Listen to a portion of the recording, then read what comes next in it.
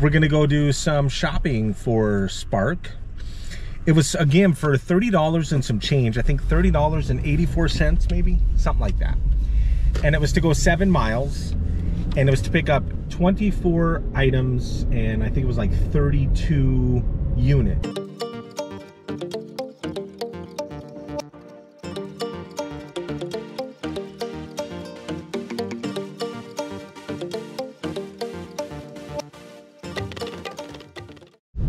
How to do a Spark shopping order in a few easy lessons.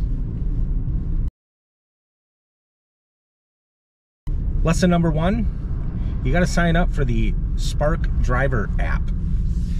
Once you sign up and download the Spark Driver app, it'll ask you some questions.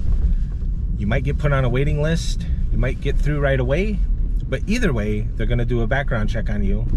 And then you can start doing Spark offers which could be shopping or it could be curbside pickup. Step two to doing Spark, get an actual Spark order like you see here.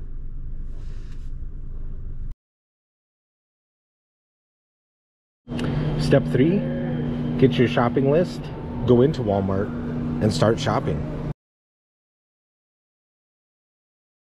Once you find your aisle and your section, these little numbers here are the modular. This one is aisle 5, section 22, which is right there. Modular number 9.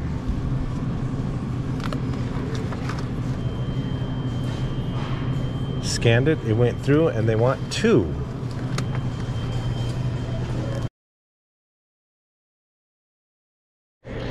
Then to check out, you just scan the QR code.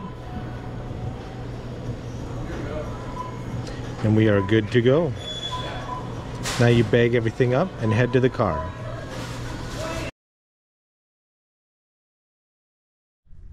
Step number five in the process, go to the navigation, hit navigate, hit start, and it will take you exactly where you need to go to drop off your order.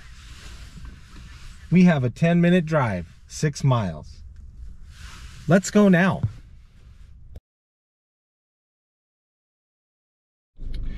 And the final step is to get to your customer's address and drop off according to their instructions. Maybe the front door or the back door, or maybe a side porch or something.